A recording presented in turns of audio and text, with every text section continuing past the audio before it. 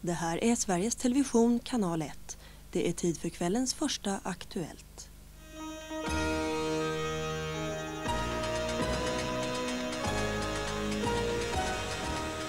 Två dödade i Malmö idag när en byggnadsställning rasade. Efter ett år på amerikanska ambassaden i Peking har regimkritiken Fang Lizi fått lämna Kina. Och så kan Aktuellt berätta om att laxen går till som aldrig förr. God kväll, först till Malmö. Där dödades två murare idag när en byggnadsställning rasade och ytterligare en människa har livshotande skador. Olyckan inträffade i samband med ett renoveringsarbete på en fastighet. En nygjuten balkong lossnade och drog med sig byggnadsställningen i fallet. Det var vid lunchtid som olyckan inträffade. Medan ett 20-tal byggnadsarbetare håller på med renoveringsarbeten på flera plan i en byggnadsställning lossnar en nygjuten balkong på fjärde våningen från sina fästen och rasar ner mot marken. Hela byggnadsställningen och de underliggande balkongerna dras med i raset och två murare, en 18-åring och en 20-åring, hamnar under rasmassorna och dödas omedelbart. Kan du berätta hur det såg ut när ni kom till platsen? Ja, som jag såg det var det ganska rörigt där och att eh, byggnadsställningar plus en del av balkonger hade ramlat ner. Och eh, folk som jobbade där sprang omkring och slet och ville ha hjälp naturligtvis. Och, eh, man upptäckte då en som låg under rasmassor och sedan ytterligare en. Och, eh, vi försöker systematiskt plocka fram grejer för att kunna lyfta upp och få fram de här människorna. Balkongen som rasade hade gjutits på plats så sent som i torsdags. Flera teorier cirkulerade om vad som kan ha orsakat att den lossnade. Exakt vad det berodde på vet man ännu inte.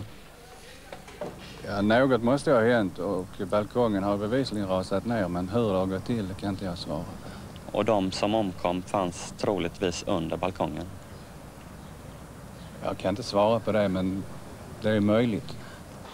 Brandmännen arbetade ett par timmar med överhängande risk för ytterligare ras. En hund kände vittring efter ytterligare en person men troliga, troligen finns ingen kvar under rasmassorna. Enligt uppgift från polis och som de har tagit från uh, olika arbetsledare ute på plats så ska det inte, är det ingen som saknas. Då skulle det i så fall vara en uh, utomstående så att säga, en som inte jobbar på bygget? I så fall någon som inte hade där att göra. Men det är inte sannolikt? Troligen inte. Sådana här olyckor är ganska ovanliga? Ja, det händer inte så ofta. Det har väl hänt någon gång med gamla balkonger som har, inte har hållit måttet, men det är många, många år sedan. Iran skakades idag av nya efterskalv fyra dygn efter den stora jordbävningen. Efterskalven orsakade panik bland de överlevande och flera räddningsarbetare skadades av jordras.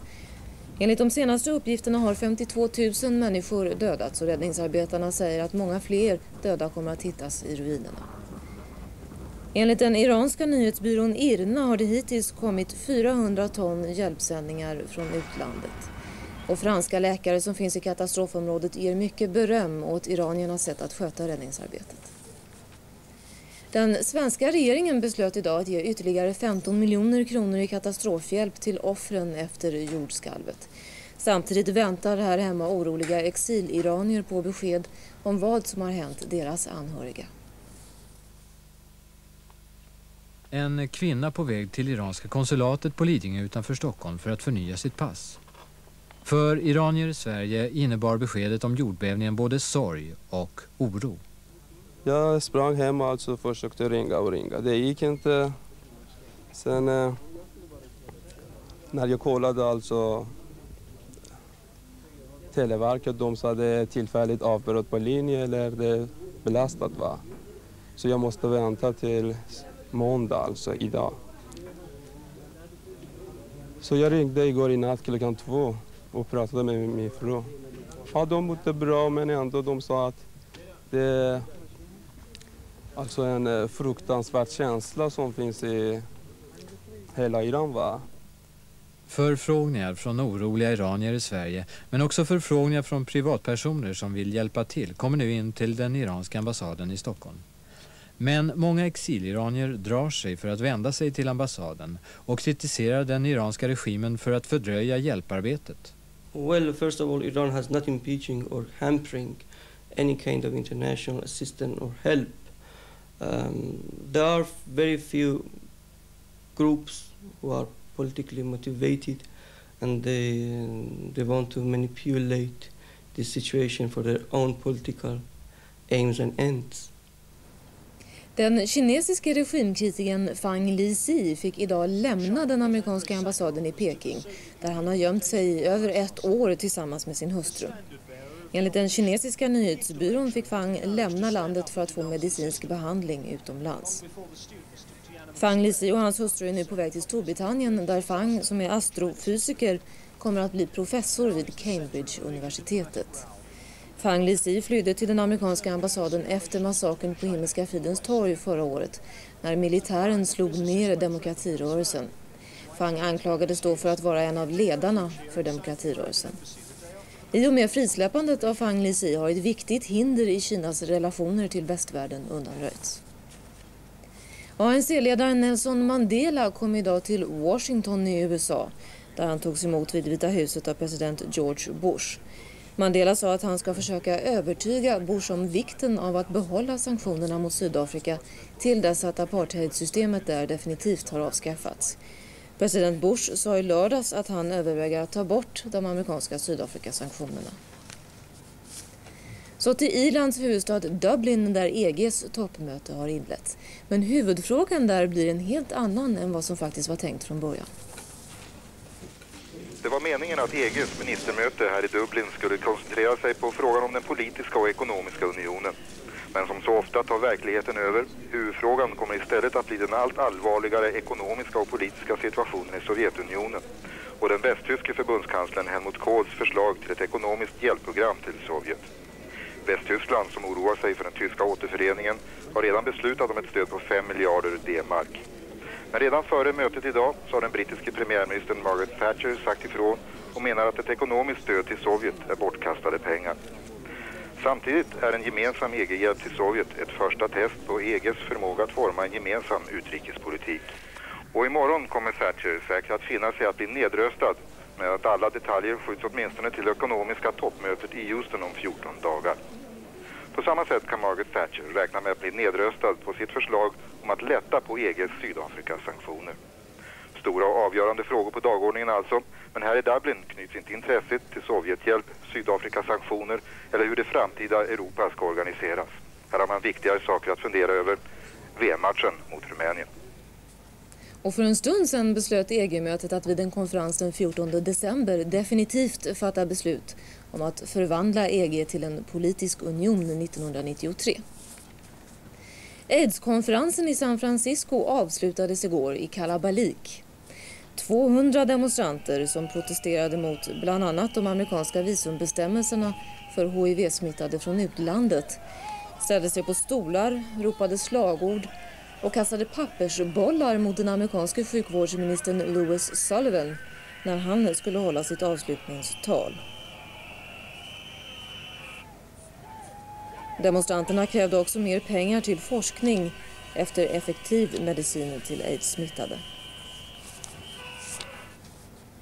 Den polska fackföreningsrörelsen Solidaritet kan komma att splittras i två grupper på grund av en maktkamp mellan Lech Wałęsa och andra i ledningen.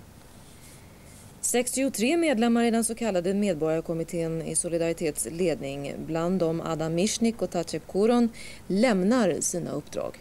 Deras beslut kom efter en hetsig debatt i medborgarkommittén där Wałęsa bland annat anklagades för att vara maktfullkomlig.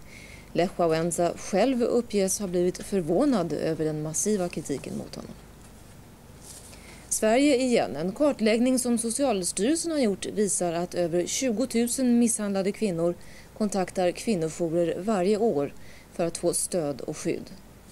Det ideella arbete som kvinnojourerna utför skulle kosta kommunerna 50 miljoner kronor varje år enligt Socialstyrelsen. Till följd av, till följd av undersökningen, eh, undersökningens resultat kräver Socialstyrelsen att alla kommuner stödjer kvinnojourerna ekonomiskt. Idag varierar stödet från kommunerna kraftigt. Idag började förhandlingarna om sjöfolkets löner och Sjöfolksförbundet hotar med stridsåtgärder om inte lönekraven går igenom. Vid en eventuell strejk skulle stora delar av färjetrafiken till och från Sverige lamslås. Löneförhandlingarna sker nu förbundsvis efter att LO sa upp det centrala avtalet med Svenska arbetsgivareföreningen SAF. Trafiksäkerhetsverket vill på försök sänka åldern för övningskörning med bil från 17 år och 6 månader till 16 år. Åldern för körkortsprovet ska dock fortsättningsvis vara 18 år, precis som nu. Minst 1000 16-åringar ska ingå i försöket och idén kommer från Frankrike som har en 16-årsgräns sedan 1984 och där olyckorna har minskat. TSV har ansökt om undantag för kör från körkortsförordningen för att kunna genomföra det här försöket. Nu går laxen till som aldrig förr i Bottenhavet och Bottenviken och yrkesfiskarna längs Norrlandskusten får rekordfångster. Närmare ett halvt ton lax, det har fiskaren Bo Sillman med sig hem nästan varje kväll när han har vittjat sina fyra laxfällor som ligger vid Bottenhavskusten utanför Sundsvall. Tillgången på lax i år slår alla rekord. Yrkesfiskarna har aldrig varit med om något liknande. 15-16 år sedan var det bra men det, det, var inte så mycket. Det är stora laxar också? Ja, bara bömlingar.